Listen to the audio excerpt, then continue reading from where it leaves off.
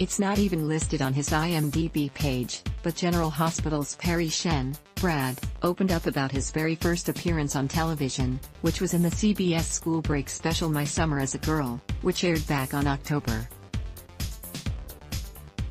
25, 1994. The show starred Zach Braff as Tony, who as the title would indicate, spent his summer as a girl. His character wants a summer job at this fancy resort, Shen explained in an Instagram post, and only a female position is available, so he dresses as a female to get the job. Yes, very bosom buddies-esque. The actor also shared a video clip of his big scene, where you can see Shen being carried around the dance floor by Braff.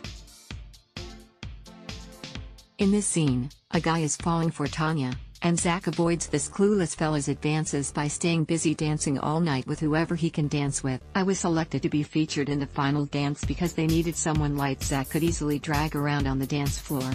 My first experience on TV was my summer as a girl with it Zach Braff. I was featured in The Last Dance cause they needed someone light Zach could easily drag around on the dance floor. After I collapsed, he murmured, you might be the funniest thing in the whole show. Hashtag tbtpic.twitter.com slash kdovacdjhs, Parry Shen, at Parry Shen, January 27, 2022 Shen also recalled his co-star giving him quite the compliment after they finished the brief scene. After I collapsed in the dake, Zach murmured to me, you might be the funniest thing in the whole show, he revealed. High praise coming from the future star of the long-running sitcom Scrubs.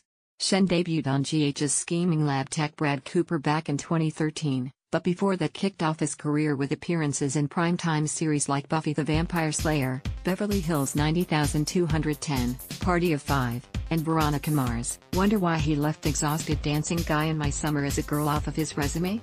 Ad block test, why?